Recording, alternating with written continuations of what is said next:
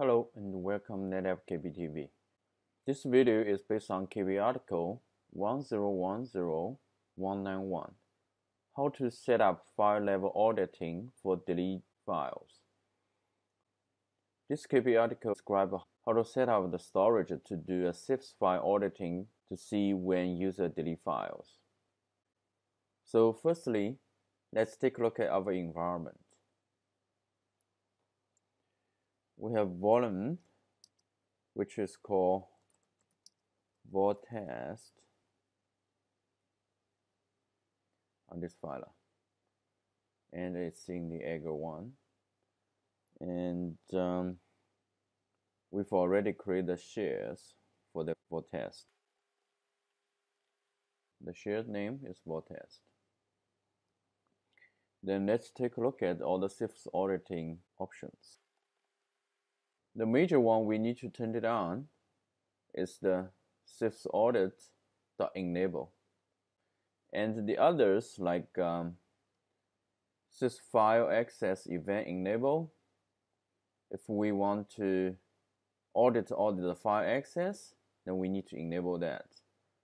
And um, the logon event enable, it's based on your situation. You want to audit all these logon and the log off, then you need to enable that. So um, in my situation, just leave this on and this on, and we're going to turn this on.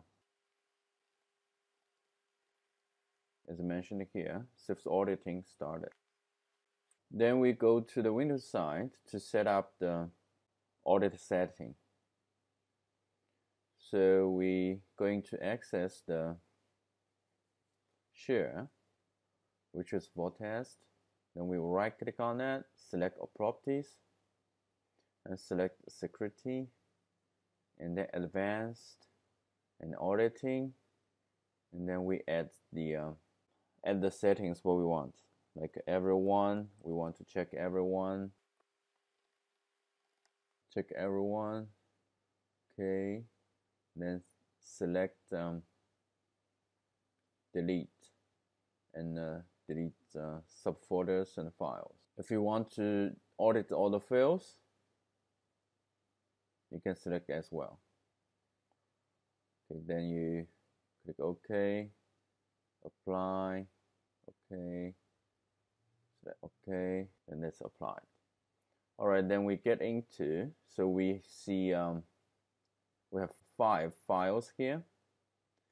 And uh, let's see, um, let's delete that file. yes okay it's deleted then the next thing we're going to do is uh, go to the file site to save the audit files and open on, on this Windows. Then we run the um, CIFS audit save command. Then it will save all the CIFS logs into the adt log.evt in the etc log directory. Then we go back to the Windows and check these files. Then we go to the C dollar share, which is the root volume. Go to the etc, go to log, and that's our file. Okay, we copy the file and copy it to the local directories. And then right click on my computer select management and we go to the event viewer.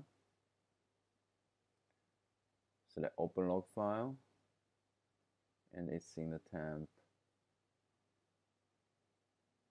And we need to specify the type it's security select open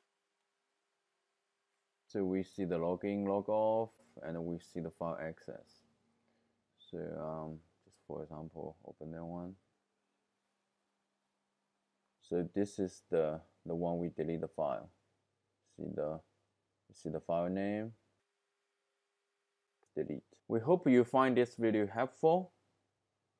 Please subscribe NetApp KB TV for more knowledge-based videos.